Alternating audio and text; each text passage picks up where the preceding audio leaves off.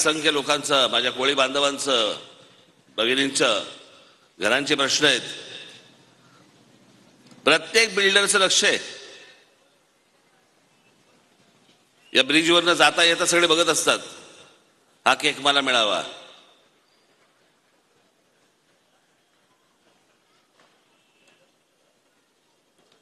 इथेच आमचा वरळीचा किल्ला आहे. हा ब्रिटिशांनी बांधला होता. किती साली? सोळाशे पंच्याहत्तर साली. म्हणजे महाराज असताना.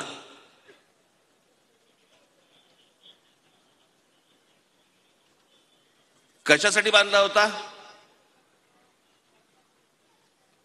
की समुद्र मार्गे जर शत्रू आला तर त्याच्यावरती लक्ष ठेवण्यासाठी म्हणून. म्हणून हा माहीम वरळीचा किल्ला बांधला तिथून माहीमचा किल्ला बांधला. त्याला काही नव्हतं तिथे मध्ये. वरळीच्या किल्ल्यावरनं माहीमचा किल्ला दिसायचा माहीमच्या किल्ल्यावरनं वरळीचा किल्ला दिसायचा. पण ते शत्रूवरती लक्ष ठेवण्यासाठी होतं. माझी इथल्या कोळी बांधवांना भगिनींना माझी विनंती आहे. तुमचा शत्रू समुद्रातनं नाही येणार आहे तो मागून जमिनीवरनं येणार आहे. तिथे तुमचं लक्ष असलं पाहिजे. कधी बोलता बोलता तुमच्या हातात हे सगळं घेऊन जातील तुम्हाला थांगपत्ता लागायचा नाही.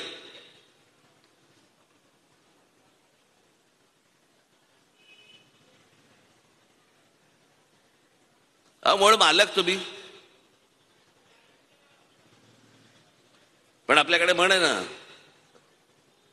असो निखास मालक घरचा म्हणती चोर त्याला. तुम्ही कसले? तुम्ही नाही जायचं.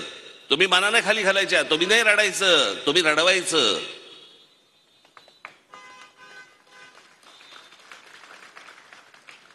आज ज्या वेळेला माझ्याकडे ज्यावेळेला मराठी माणसं येतात अनेक गोष्टींसाठी येतात कामासाठी येतात त्यांना सांगतो मी म्हटलं माझ्याकडे माझ्याकडे तुम्ही तक्रार नाही करायची. माझ्याकडे तुमच्या विरोधात तक्रार आली पाहिजे.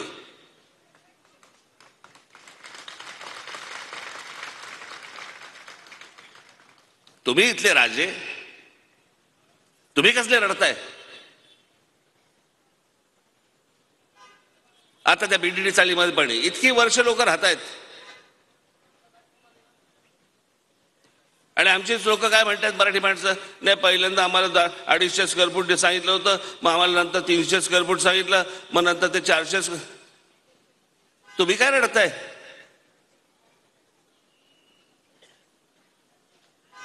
आणि ह्या तुम्हाला स्क्वेअर फुटात मोजणारे ही माणसं कोण आहेत?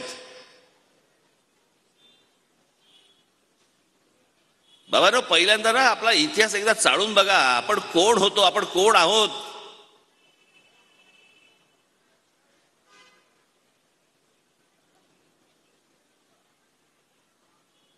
म्हणजे आमचा कोळी बांधव होता हा मालक या मुंबईचा.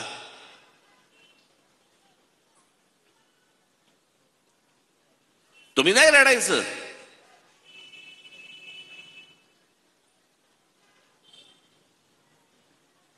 मी गेले अनेक वर्ष हे सांगतोय इथे मुंबईमध्ये ज्या प्रकारचे लोक येत आहेत रोजच्या रोज लोक येत आहेत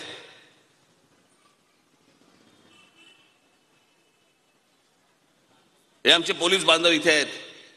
पुढे मागे कुठे आहेत तिकडे सगळीकडे. ते तरी काय करतील?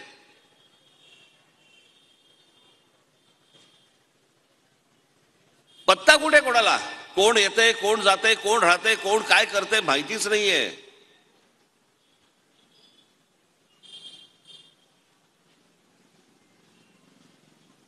मग दरवेळेला आम्हाला एक सांग- गोष्ट सांगितली जाते की हा देश सर्वांचा आहे.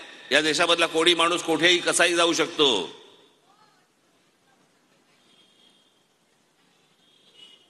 हा देश सर्वांचा आहे मान्य मला. पण या देशामध्ये कोणी माणूस कधीही कुठेही जाऊ शकतो हे मला मान्य नाही.